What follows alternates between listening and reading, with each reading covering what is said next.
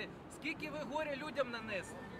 Вийдіть з Верховної Ради, йдіть якийсь хоч один нормальний закон прийміть.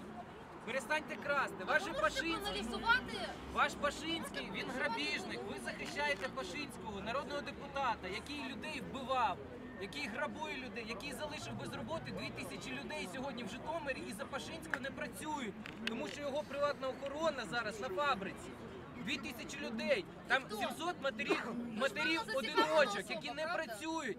А ви тут сидите з сумкою Луї Вітон до ради ходите. Правда вам Портнов? Поїдь, поїдь, поїдьте в Житомир, подивіться на цих людей, які отримують там гроші, які два місяці і за вас не працюють, і Вы за хоть Пашинського конкретное не что-то працюють. можете ответить? Или только какие-то...